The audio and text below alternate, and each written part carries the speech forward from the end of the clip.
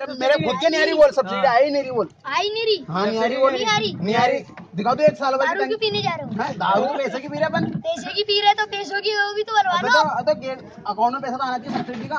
नहीं आ रहा। तो सरकार तो खा रही है। सरकार कहाँ से खागी बीजेपी सरकार तो खा रही है। बोलो आपको।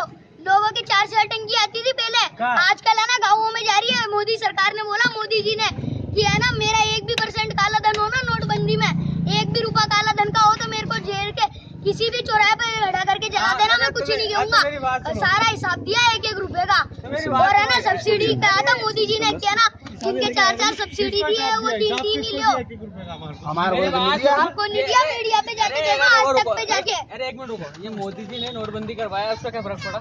नोटबंदी से सत्रह परसेंट काला धन अभी निकल गया। लोग है ना सौ परसेंट ही है। दिखा रहे हैं सब। कितने जने मरे? कितने जने कौन मर गया? जो लाइन में लगे मेरी लाइन में तो सभी लगे होते। हैं मोदी की माँ भी लगी थी लाइन में तो।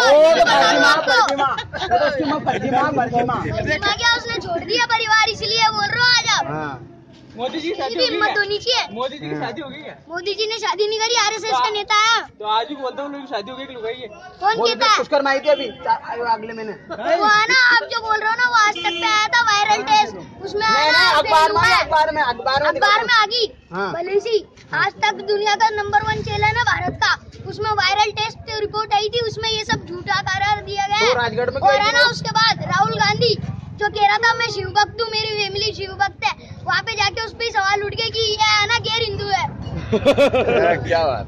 ये सब्सिडी बंद हो जानी चाहिए नहीं हो जानी चाहिए? क्यों होनी चाहिए? मैं तो भैया बोल रहा हूँ बीजेपी सरकार आनी तो चाहिए। मिलेगी आपको। कैसे मिलेगी? आप करो कर ली बैंक में आधार कार्ड और पासबुक जमा करा दी आज तक भी नहीं आ रही।